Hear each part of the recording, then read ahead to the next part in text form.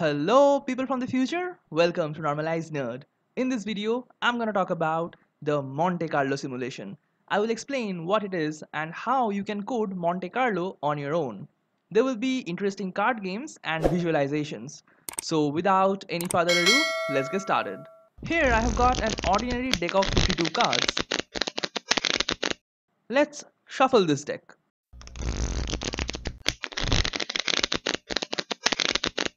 First, I want to ask an easy question. What is the probability that there will be at least two kings right next to each other in the shuffle deck? Remember, there can be more than two consecutive kings and they can appear in any order. Let me give you a couple of examples. We can have two consecutive kings, three consecutive kings, or four consecutive kings, or even something like this where we have two pairs of consecutive kings separated by any number of cards. You get the idea, right? Now, how do you find the probability? Pause right now if you want to give it a go. Let's try the analytical method first. So, we want to find the probability of at least two consecutive kings. Well, this is the same as finding the probability of the complement event where no two kings are next to each other. To compute this, I'm first taking the kings out of the deck. Now we have 48 cards.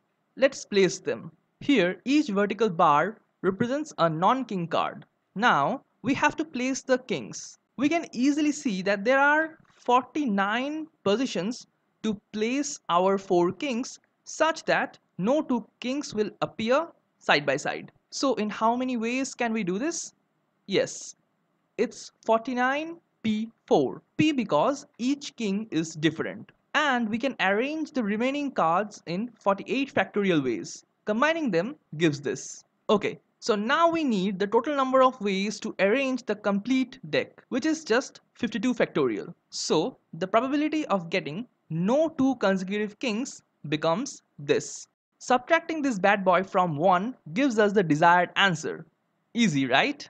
Now let's use the Monte Carlo. But what exactly is it? To be honest, there's no proper definition of Monte Carlo, or at least I didn't find any. Actually, Monte Carlo is a general term for a vast range of algorithms that in some sense deal with either finding or optimizing a probability.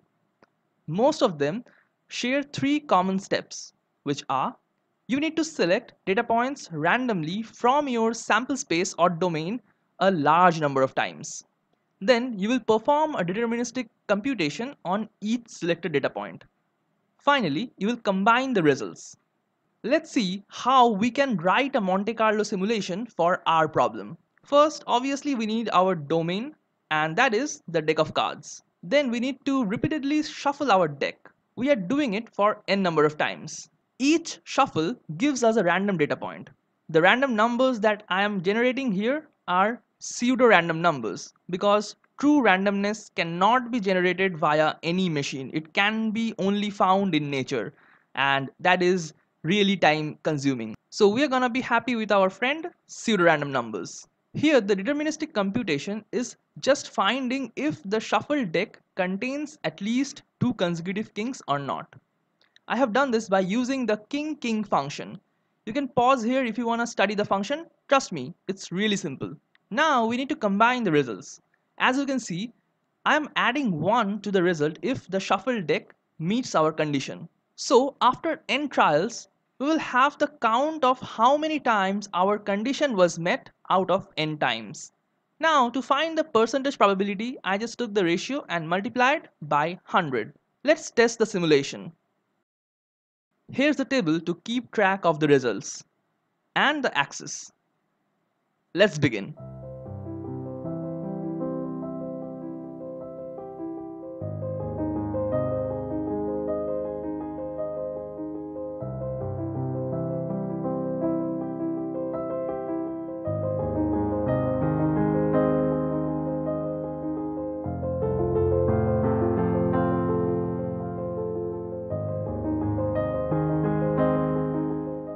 Wow, just look at the value when I did this for 10 million times.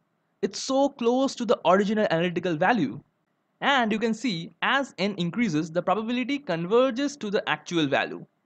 This is because of the law of large numbers, which says if we perform a random experiment a large number of times, then the result converges to the expected value.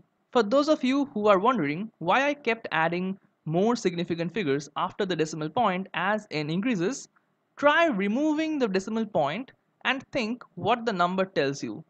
Yeah, it's just the number of times our condition was met. Okay, so now we know that Monte Carlo works. Let's try this in a more difficult problem.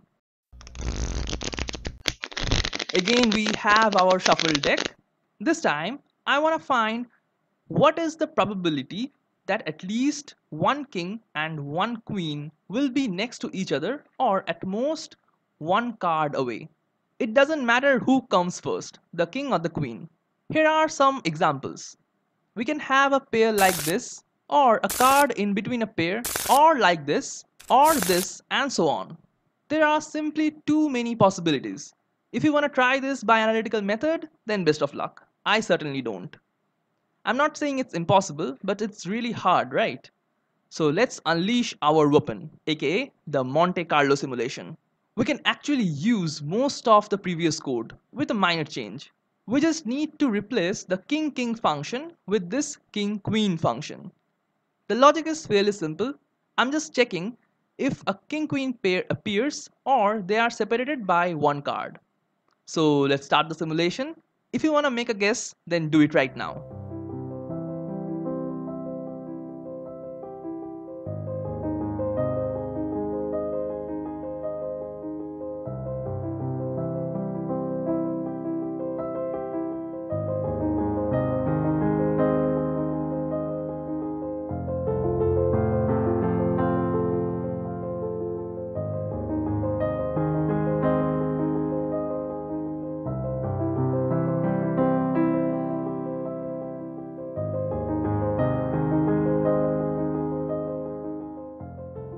Okay, so after 10 million trials, we can quite confidently say that the answer is around 73.5%. Wow, that's unexpectedly high, isn't it? Now some of you might be thinking, okay, this technique is quite good, but at the end of the day, it's just a simulation. What if we are super unlucky and somehow end up with the random numbers that lead to a wrong result?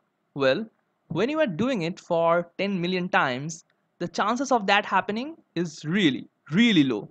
And we can actually compute error percentage too. But that's a topic for another video. I really hope you enjoyed the video. Keep supporting, stay safe, and thanks for watching.